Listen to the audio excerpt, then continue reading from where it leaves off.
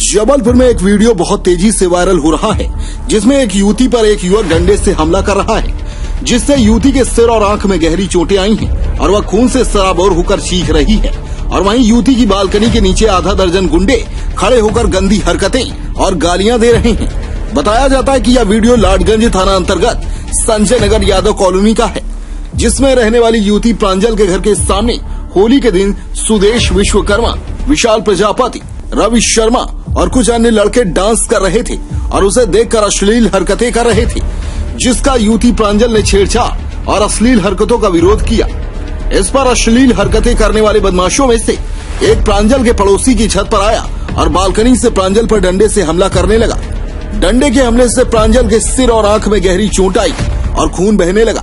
दर्द से चीखती हुई प्रांजल अपने घर की बालकनी से अंदर की ओर भागी। इधर नीचे खड़े गुंडे लगातार गालियाँ दे रहे थे और जान से मारने की धमकी दे रहे थे। उसके बाद परिवार के लोग घायल प्रांजल को लेकर निजी अस्पताल पहुँचे, जहाँ उसका इलाज किया जा रहा है। इधर प्रांजल के परिवारी जनों की शिकायत के बाद लॉर्डगंज थाना पुलिस ने मामला दर्ज कर लिया है। फ़िलहाल किसी आरोपी की गिरफ्तारी की खबर नहीं है। मेरा नाम प्रांजल गुरील है। ये मेरी चोट देख रहे हो। ये मेरे पड़ोसियों ने मारा है। पहले से हमें बहुत टॉर्चर करते थे बहुत परेशान करते थे। हम लोगों का जीना हराम करके रखा था। कल उन्होंने होली वाले दिन। डेट कल कितनी थी? डेट कितनी थी कल? उनतीस तारीख। उनतीस मार्च 2021 को कल उनने दिन में हद पार कर दी। हमारे घर में बहुत लड़ाई तमाशा कर रहे थे।